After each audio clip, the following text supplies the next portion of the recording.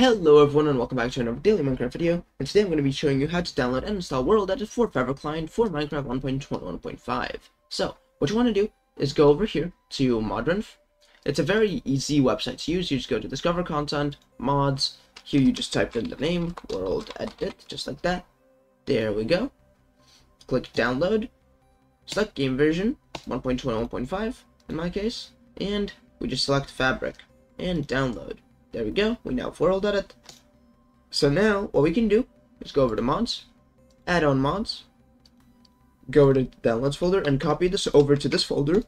And now we can just start up the game, and we're going to be able to see that we can use World Edit. So as you can see right here, we're on Feather Client, and we click on Single Player, and go into a world, we're going to be able to see that I'm able to use the World Edit mod to do World Edit things. For example, if I just do slash slash one, just like that, I'll have a wand. And if I do slash slash br apply sphere 5 set fire air, we're gonna be able to see that you know it creates spheres of fire and air.